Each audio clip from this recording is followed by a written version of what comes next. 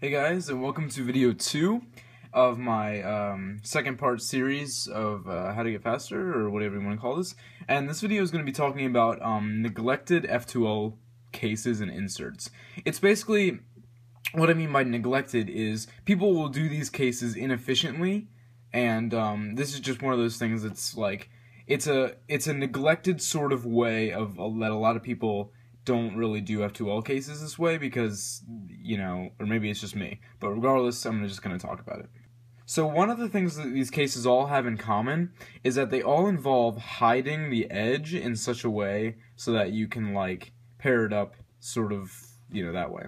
Now this first case, you have this edge here and this corner here, and in this case the um, insert is in the back. Now, uh, what some people may do is they may rotate this way and sort of pair it up that way to make it a three move. But what is much more efficient in this sort of you know sense is to actually rotate this way and do U prime and then hide it like that and pair it up that way.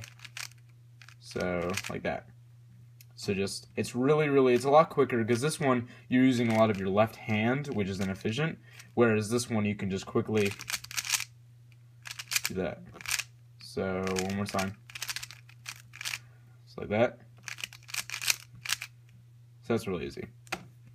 Now the second case, which is a really, really common case, it occurs a lot, a lot of times, and um, I don't see this inefficiency quite that often, but it does in fact happen. Some people will try to pair this case up like this and do that or like that or whatever, but you know, even though this case if you do um, sort of F move like a trigger, there's actually a really good algorithm for this, but a really good intuitive way to do this is just to rotate this way and to pair it up by hiding this edge and pairing it up like that.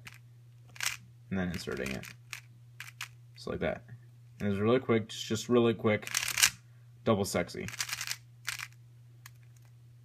So right there, rotate, pair it up, and insert. And the final case is one that I um, have been doing incorrectly for a really long time, and it's basically how you recognize it is you have this thing in the back, and then you have this edge here, and then you have this corner here with the blue, red, with the um, same color here as on top. And so what some people may do is pair it up like that and do some sort of like um, bunch of sexy moves to do that, but a really easy way to do this is, again, hide the edge and pair it up like that, and then insert it. So, it's like you have this, do U prime, pair it up and insert. And so that's that's basically it.